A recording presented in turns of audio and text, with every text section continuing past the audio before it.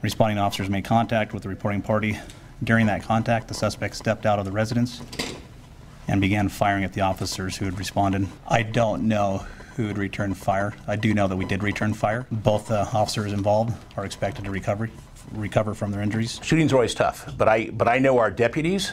Um, I know a, a lot of the members of Sandpoint PD, and they don't start the day every day wanting to go out and shoot somebody. Typically, if someone comes out brandishing a weapon or someone comes out shooting at them, we expect them to shoot back because their lives are just as important as any other citizen. They have families, they have people at home. We want to see them come back home.